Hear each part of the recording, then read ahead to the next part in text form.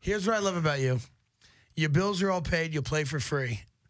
I suggested to Mike Maccagnan offer him the veteran minimum since his bills are paid, and we want him back, but at a better number for the team to sign other players.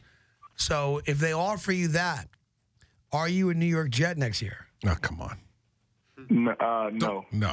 No. no.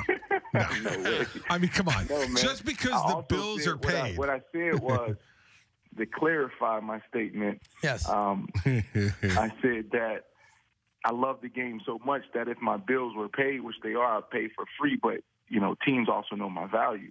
yes. So Now, they they, they, they just they just not a- but it's not about resuscitated Brandon's agent. yes, it's not a, it's not about the money though. With with that being said, it's not about the money. I, I I've I been get it. blessed to play this game for a long time, and you know, I you know we have uh, we have some we have some uh, a good savings and a good financial plan in place, so we're okay there.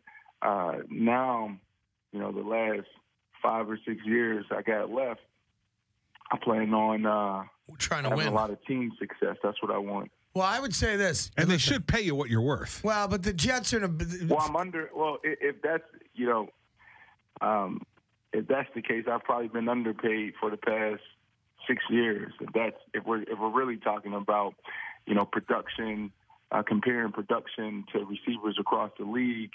Um, Damn right. and what I've been doing and what I'm getting paid, you can you, there's a case that I was underpaid. But now, when you only catch uh, 50 something balls and 700 yards, that's when in your 30 something years, that's when teams come and you're like, ah, That's I don't right. think we don't think you're good anymore. So they use that as leverage. But That, that's when you know, CBS calls you.